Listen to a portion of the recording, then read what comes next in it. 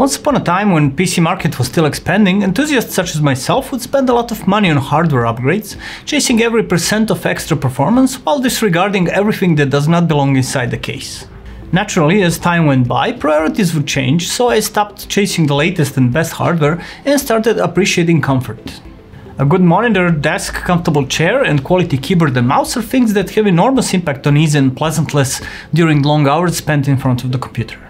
Of course, this also goes for gaming, except the gamers, unlike regular users, also require that little bit extra so the peripherals would cater to their specific needs.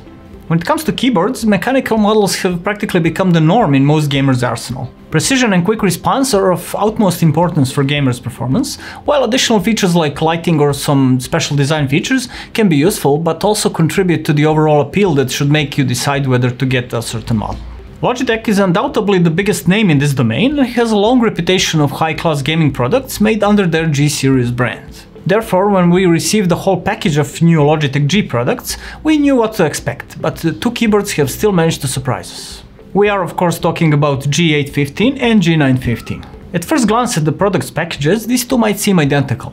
Difference is that G815 comes with a cable and requires two USB ports for connection, as the top edge of the keyboard also houses a pass-through USB port for connecting other USB devices. G915 on the other hand is wireless and communicates with your PC via Logitech LightSync technology, which we saw previously on some Logitech G gaming mice.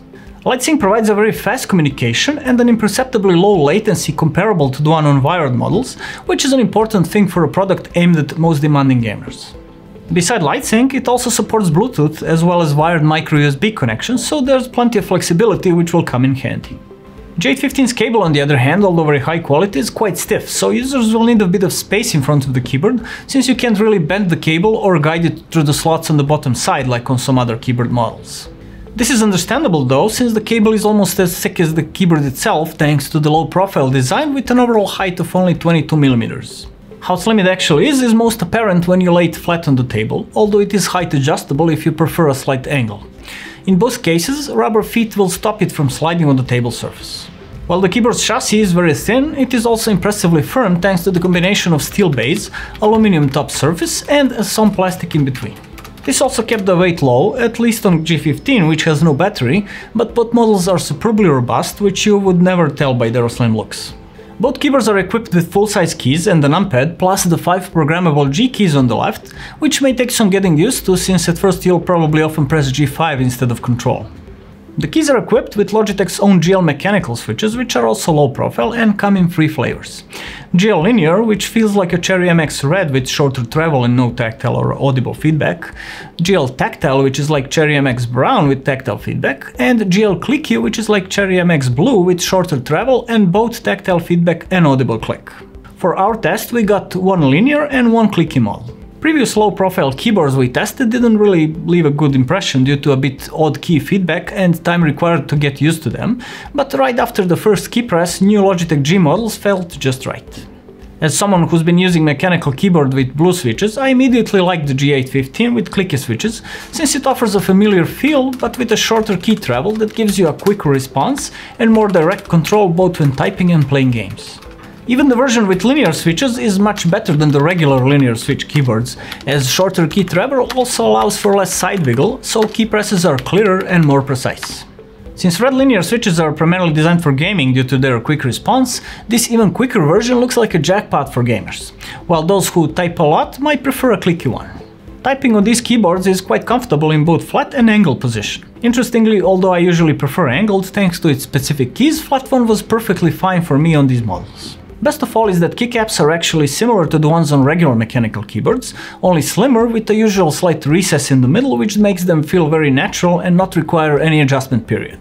Within a few hours you'll get used to the shorter travel and start reaping all its benefits. Speaking of keycaps, Logitech claims that they come with an oleophobic coating that should make them less greasy after a prolonged use, but we didn't really notice that was the case, at least not any more than usual. Of course RGB lighting is a must these days, so each key is independently illuminated and you can set the color, animation and effects inside the Logitech G Hub software, which also allows you to reprogram the function of any key, create macros or assign special functions like Discord or OBS software or system commands. Above the function keys you'll find three memory keys, not mechanical but rubber dome, which can be used to change lighting profiles, but also give 5G keys three different sets of functions, which will put a lot of commands right under your fingertips, useful both for gaming and professional applications. Right beside memory keys is a brightness control key, as well as a game mode key which can deactivate certain keys like Windows or any other you select, so their accidental press wouldn't bother you during gaming. Above the numpad there are four multimedia control keys and at the top there is a volume control roller that's textured like a cogwheel, turns smoothly with no tactile feedback and offers both fine and fast volume control. We do wish it had some tactile feedback though, not that it would make it more usable, but it would simply feel better. All in all, G815 and G915 leave a great impression and rank at the very top among all the keyboards we've ever had a chance to try. They may be primarily gaming keyboards, but superb typing feel and flexibility offered by additional programmable keys certainly make them a perfect choice even for users not interested in gaming. In our opinion, both models are deserving of a highly recommended award, and only dilemma is whether you prefer wired or wireless and which of the free switch types is your personal favorite. Of course they are not cheap, so G815 will set you back about $200, while G915 costs about $30 more. Thank you for watching another Bench House review. Tell us how you like these keyboards in the comment section below. If you found our video useful, please leave a like and make sure to visit our channel for more interesting stuff. See you next time.